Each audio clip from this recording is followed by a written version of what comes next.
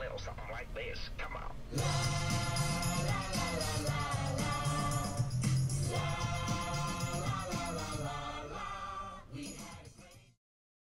Good afternoon, Kennedy Dragons. I'm Mr. Butcher. I'm Mr. Newport. And this is the afternoon announcements. And we are filming this before our pep rally. Uh, so we're looking forward to uh, having our third, fourth, and fifth grade for the pep rally. right. And so we're going to get this done fairly quickly. Yeah, what are you going to be? I'm going to be a professor. Yeah, I'm just profess knowledge of stuff. perfect. I'm just going to be better. People are That's like, what do you mean you're going to be better? I'm like, well, I'm, I'm going to be better. better today than I was yesterday, right. better tomorrow than I was today. And then one kid said, "Well, what if you're worse?" And I said, "Well, that will make it that much easier to be better the next The day." The next day. That's right. Being better every day. That's what we want to be about. All right, let's go ahead and look about for breakfast on Monday. Monday's breakfast: sausage bagel, cereal, or muffin. All right, Bagels. bagels. Ready for lunch? Yeah, what's lunch? Ready? I love me some corn dogs, ketchup and mustard. I love me some corn dogs. I love me some corn I do dogs. like a corn dog. All right. What are we having? I think we're having corn dogs, That's right. but they're small, they're small, mini, mini corn dogs perfect. uh, with baked beans. Hey, baked beans! Yes, we haven't had them in like two weeks. It's been And you know what goes well with mini corn dogs and baked beans? Doritos? Doritos. Oh, That's right. just guessing. Doritos, and of course cucumbers and tomato.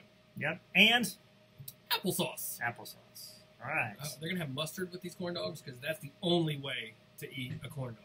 No, You don't put ketchup. the song. No, ketchup. Well, I no. love me some corn dogs No, with ketchup and mustard. See. Mustard only No, that doesn't with sound good. extra mustard. Well, hopefully it'll have no mustard. ketchup on a corn. Don't. It's no. It's good. Good stuff. That's blasphemous. All right. Um, let's talk about perfect attendance Perfect today. attendance. Not too many. Not to me. Nobody in pre-K. Miss Johnson's the only class in kindergarten. Miss Peterson in first grade. No one in second. Miss Escover in third grade. Mr. McCoy only in fourth grade. Way to go, fifth grade. Miss Chupp and Miss Sorrells. And then Miss Corley and Miss Guerra had perfect attendance. Congratulations to those Way classes with perfect attendance. Monday, we do start our uh, Georgia milestones testing. Uh, that's very important, not just for our third, fourth, and fifth graders that are here, but to everyone that's going to be here because we're going to need you guys. One, we need everyone here on time. That's really, really important. We need, because we don't, third, fourth, and fifth graders, whether you're testing in the morning afternoon, we need you here on time so you're ready to go.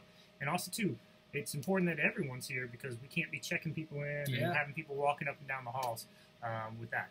Also, remember that all uh, week next week uh, we're eating in our rooms. So, teachers, if you haven't gotten that message, you need to make sure you get that. So, we're going to be working on that. We're eating. in their rooms. In their rooms. In their rooms. There won't be any monitors here next week because our monitors are helping us with That's testing as well. So uh, you need to make sure you're aware of that. Um, we're going to need our pre-K through our 2nd Mhm. graders, um, along with our third through fifth graders, making sure that we're really, really quiet as we walk in and out of the building and move around the building because people are going to be testing. We want to be respectful of that. So looking forward to it. I think this is going to be Yeah. the best uh, year of testing we've ever had. Um, hopefully, um, those scores will come back and show how great we've done all year with our reading and our math. So, looking forward to that. With that being said, it's time for our good news call today, followed by our um, uh, PBIS Stars of the Week. Okay, on Fridays is the day that we recognize our PBIS Stars. Those are people who um, have been ready, respectful, and responsible. We know that ready means being in the right place at the right time with the right Stuff respectful means treating others the way you want to be treated. and responsible means doing your Job. with a smile on your face Face. and giving Perfect effort. excellent. So our ready star of the week is Miss Paula Herrera from Miss Wallace's class, and this is what Miss Wallace says about Paula. She's quick to follow directions and remembers our classroom procedures with ease. So for being our ready star of the week, you get two Dragon Dollars. You get your picture outside the, the cafeteria. You get your name on the marquee. You get the gray band, and I believe now you have all three. You have all three now. No, two of the three. There you go. Congratulations. Our respectful star of the week is Jessie Christie, and this is what Miss Belknap says about Jessie. She makes sure that students are treated fairly and always has something kind to say about everyone in her classroom. For being our respectful star of the week, Jesse Christie, you get two Dragon dollars. You get your picture outside the cafeteria. You get your name on the marquee, and you get the white respectful band. There you go. Our responsible star is not here. She had to check out, but it is uh, Briley Stevens from Miss Kinney's class.